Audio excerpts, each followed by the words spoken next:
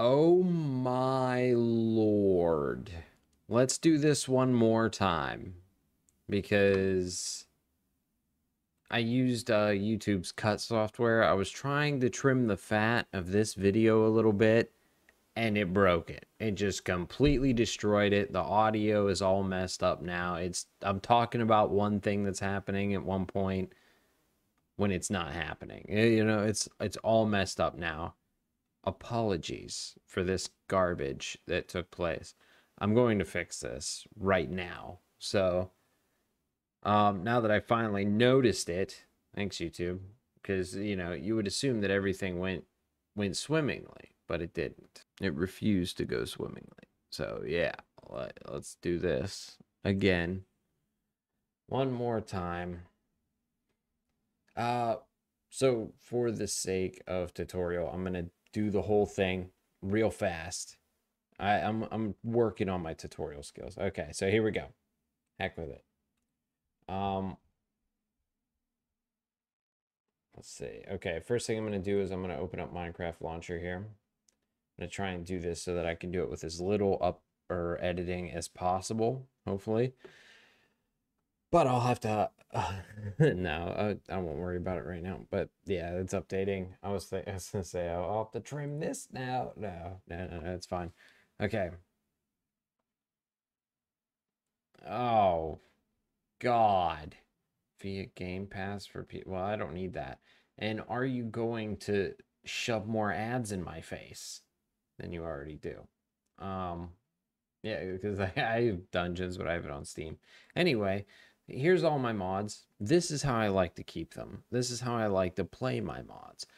It's just booty cheeks. Don't worry about it. And you know, if I want to play a certain mod, I I like to be able to just click on it and then click play and then that's it. And I don't have to open up Overwolf and have it running in the background, which is why I made the original tutorial before it got screwed up. Apologies again. Um so yeah, here we're going to download a completely new mod that I've never downloaded before. I don't know which one. We're going to browse the store a little bit. Come on, let's do it. But yeah, see, this is the struggle. Let's wait for Overwolf and CurseForge to launch. And let's look at ads.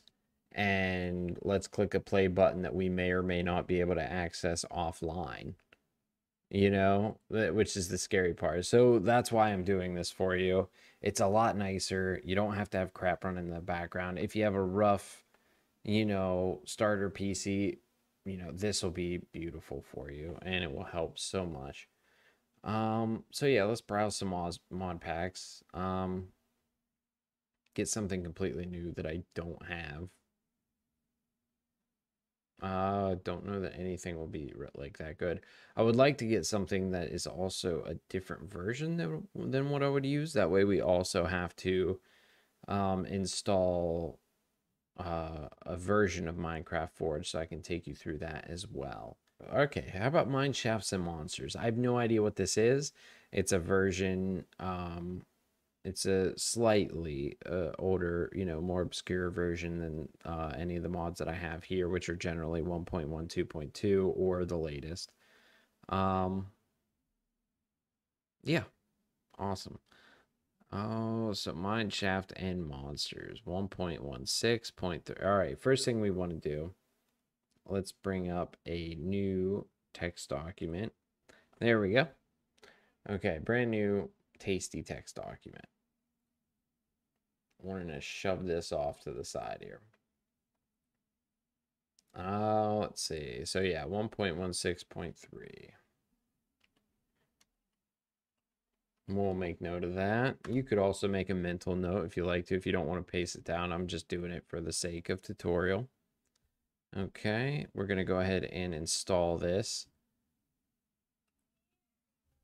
And once it's done we'll be able to look at the forge version and everything else like that. So um yeah this is the only part of curse forge you need is to install it. After that I'll show you how to launch it without using curse forge from here out until you need to update or whatever you'd like to do. All right we'll let this download and I'll see you in a bit. Okay it looks like we're almost done. It's uh 100%, but it's still installing. Awesome. Uh, so while we're doing that, let's look up Minecraft Forge here because we probably will need it. Okay, and all you'll have to do is type in Minecraft Forge, right? And click here. Now, first we're going to want our version, um, which we know now is 1.16.3, you know, as we took down in the text pad here. So 0.3, we don't, we will show all versions. We don't know which of these versions here that we want of CurseForge yet.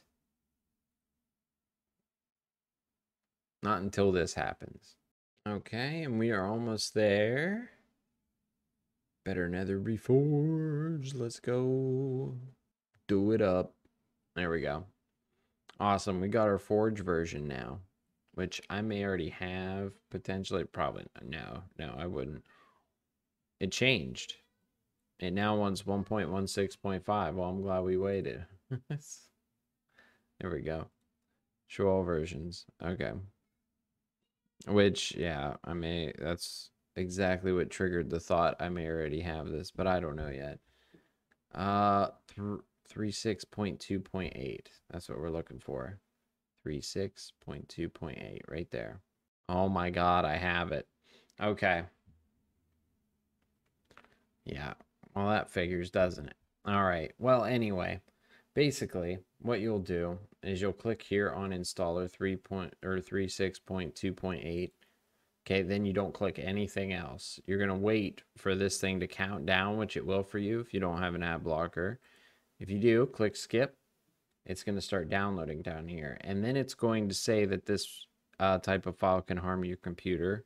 Go ahead and click keep. It's just uh, as long as it's a .jar file, it is fine. Make sure that you don't open any .zip, .exes, none of that garbage. Um, only .jar. So, okay, I went ahead and moved my .jar file right here on the desktop, just so it's right there. Like I said, make sure that it's a type executable jar file, like it says right there. Right click on that go to open with Java Platform SE binary. If you don't see this, try choose another app and see if it's in there. If it's not, you may need Java Java 8 installed, which most likely should be installed already because I think um, Minecraft requires this. But yeah, you go ahead and click on this and then uh, click on install client, click OK, and then it will say that it, it installed uh, successfully. Um, I suppose I could do it again. Heck with it. Let's see. Hopefully it won't break anything. I don't think it will. It'll just, you know, replace everything that was already there. Successfully installed client profile for Forge, for Forge version. There it is. We have 36.2.8 and we will want to make a note of that as well because we'll have to select that when, uh, yeah, which now it's 5. Okay, so now we're going to go back to CurseForge. We're going to click play. We're going to need a couple of or a couple of directories in here rather. Of course, it has to update again because for some weird reason, CurseForge also wants to install a brand new launcher for each and every mod pack, which is just ridiculous. It's just unneeded. Like it should all bind to the same one anyway, which is what our goal is here today. Yeah, and it even oh, it's a new and improved launch, you know, just because. But yeah, look at that. Where's all my stuff? Where's all my stuff? It's still in the regular launcher. When you go to click the regular launcher, this Mine Shafts and Monsters won't be there, which is what we're trying to achieve. We want it to be there. So let's go to uh, installations here. Click the three dots, click edit and you can click more options here. We're going to need this directory here. This is where all of your files are located. Go ahead and control C or right click copy to, uh, make a note of that. We're going to paste it there. And we're also going to need the Java arguments right here. Awesome. Control C or right click copy, whichever you may do. And we'll paste it there. Okay, and we'll click cancel. And we can exit out of this now. We no longer need this. We don't need this either. Bye. And we'll right click on Overwolf here and click exit because we don't need it running no more. We are golden. We have all the power now.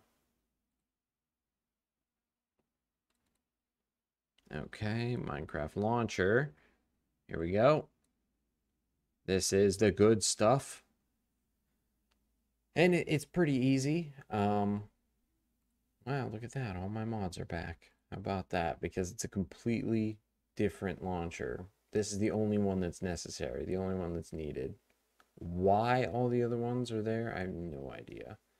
Now, I'm just making sure that monsters and whatnot, whatever that mod was, is not in here already. I, I forget what the mod was called. It was Mon Monsters and Mine Shafts, I believe. We'll go ahead and put that. We're going to select our Curse Forge version, which is why we made a note of it here. 36.2.8. 36.2.8 right there. And here's our directory. This is where our files are located. This way, it searches for them there, right where it installed them. More options, right? Here's our arguments right here. Go ahead and copy and paste them here. You can see here, this XMX, this is how much RAM you're allocating to Minecraft, which when it comes to mods, you may want to add some more. Here it says XMX2G, which means 2 gigabytes. I generally give about six, roughly. You might want to give four. It depends on what your system has. If your system doesn't have um, that much RAM, I would imagine it has at least four gigabytes. And remember, four gigabytes is 4,000 megabytes. You're going to need to know that here in a second because the Java arguments that get used in most of the Overwolf things, or at least the ones that are, I, I think I had this set up to install this way for all of them. Um, yeah, I was using 7 gigs. Um, here it says M instead of G, which means megabytes. I give it 7 gigabytes, which is 7,000 megabytes. I think I put 7,000 in here, and for some reason it auto-added 168. I'm not sure. But um, yeah, that that's your allocated RAM right there. Just make sure that you properly change that number to what you may need for your particular mod and based on your device. But yeah, we just pasted those arguments there. And that's all you have to do. There it is. Um, let's give it a, a nice redstone or something. And then click create. There it is. And now we have it. Monsters and mine shafts. Now, when we open this launcher at any point in time, it will be in here with the rest of the mods if you choose to do this with the rest of your mods as well. Monsters and Mine Shafts, let's click play just to make sure that it works. Just to make sure everything went through nice and sweet. Prepare. Prepare for amazement. Okay. Here we go. It's loading up the mod right now. It's loading up all the little mods within the mod pack. Yeah, this is why I thought it was six gigabytes. Here it's showing uh that many out of six three seven two for some reason. I'm not sure what the deal is with that. I think because I allocated seven point whatever gigs, you know, seven thousand one hundred thirty something it was. Um, I think maybe Minecraft uses like a gig of that for itself, like its base vanilla stuff. So that's probably why it says a maximum of six gigs there. I would imagine. I don't know that 100%, but I think that's what's going on. Constructs constructing 261 mods, baby. Let's go.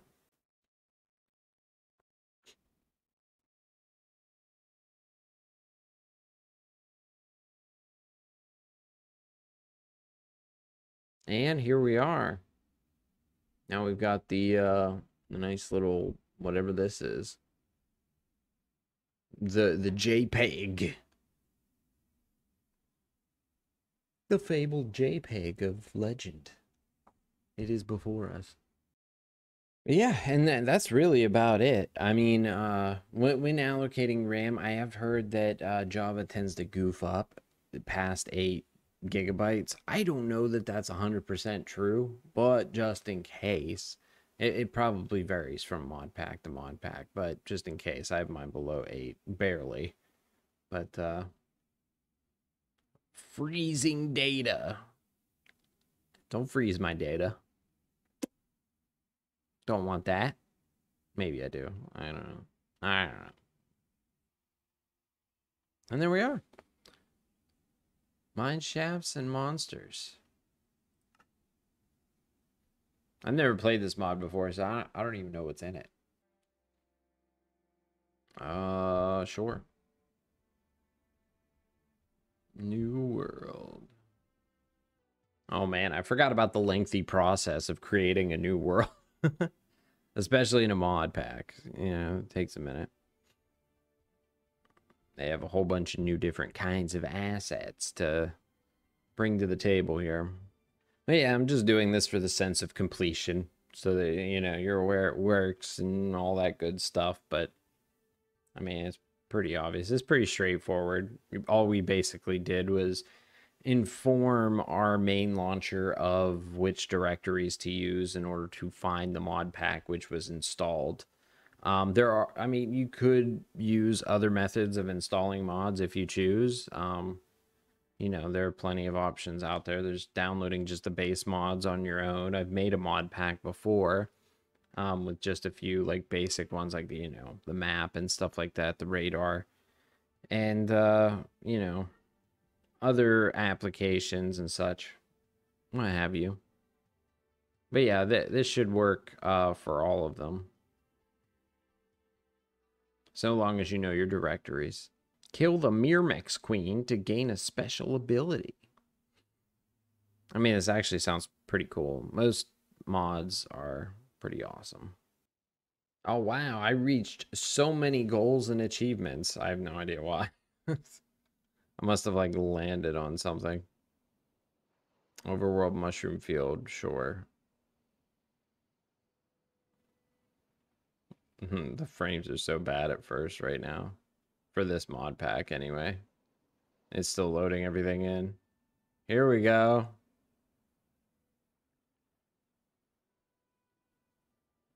There's a boat. It's starting to get there. Come on. What's with all the frame dips? It's still loading the world in. I have no idea what all is involved in this mod pack. I'm not sure exactly what what's added. But it seems to be a lot, judging. I mean, we did load into an ocean as well, which is a whole other can of worms on its own with these floaty these floaty kelp pieces. Objective, kill a pillager. Oh my god, we're on an island surrounded by ocean. That's why it's all kinds of laggy mess. But yeah, anyway. Oh wow, it did didn't even load that map. Where where'd that map come from? I don't know how jank this mod pack is. I'm not exactly sure. I've never played it before. I just wanted to try and download a new one, and then it turned out to be a Forge version that I already had anyway. Anyway, I, I hope this tutorial helped you. I really appreciate you sticking around and bearing with me through this mess. And especially the mess of my first video that was made by uh, YouTube Cuts. Its little editing software. That will be... Oh my god. Like, I have cut so many VODs with that, and now I feel like I have to go through and look at all of them. Because I bet the audio is so messed up on quite a few of them now. I can't believe it did that. Uh, that was crazy. Anyway, I hope this helped you out. Thank you for watching. This was probably more concise than the, the last one. So I, I hope I did a little bit better. Take it easy, guys. Have a good one. Enjoy your moddage.